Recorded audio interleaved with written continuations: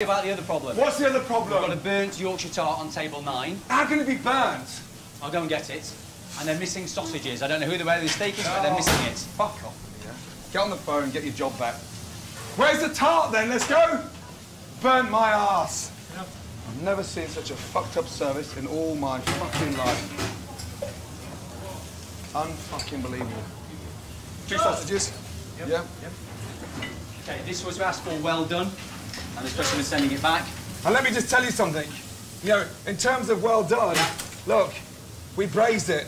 What is that? That's well done. That is well done, so stop bringing me shit! What about this, Gordon? That is well done! What about this? It's well done!